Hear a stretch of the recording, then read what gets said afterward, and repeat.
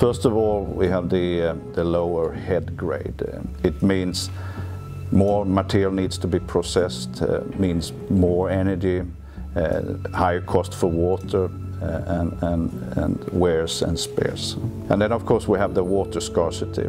Either there is no water or there is uh, a far distance to the, to the sources of the water. And then we have the complexity of the ore. Uh, it's much more difficult to dewater the material and this is typically due to the fine grinding. And these are the, the factors that we need to handle in today's operation. But over the last year, uh, additional requirements have emerged uh, and set the agenda here. And uh, First of all, we are talking about the dam failure or the high risk of dam failure. Uh, but then we have the sustainability agenda here and really the, the, the uh, license to operate. We are talking about the recovery of water or actually I should say the responsible use of water. And the same thing applies to uh, energy uh, or chemicals in the process. We have the social aspects, the social responsibility, legislation, regulation. We have environmental reasons.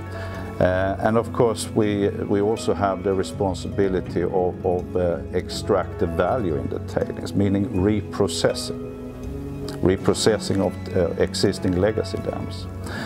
Um, and we have, of course, the closure of the mine that is, is a part of this. And just recently, uh, I, uh, I have seen that there's a huge pressure coming from the investors as well. It's no longer uh, the matter of finding the technical most suitable uh, equipment or solution. It's about the transformation into a sustainable uh, development. Therefore, it's a Metso priority, and we are a part of that development. So our elevated uh, view is to challenge the conventional and take into consideration the end of mine strategy.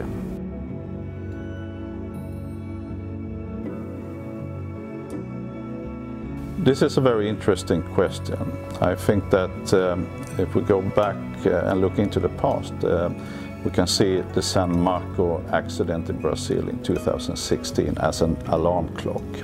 Um, and it was obvious that the, uh, the activity level went up quite a lot and, uh, and a lot of mining companies, they were looking into uh, what do we need to do uh, the, when it comes to the risk of, of the tailing dams, etc. But it never reached the point where the, where the industry uh, went together and, and evaluated the, the, the, conventional methods, if, uh, if that's the right thing to do. But in 2019, in Jan January 2019, uh, we had a tragic dam accident uh, in Brazil again.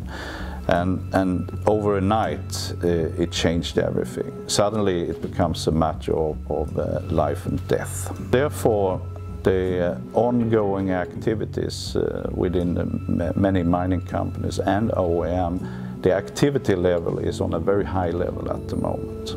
From our perspective, uh, uh, it became obvious that everybody is looking for a reliable solution to it, and instead of short-term fixes or short-term solutions.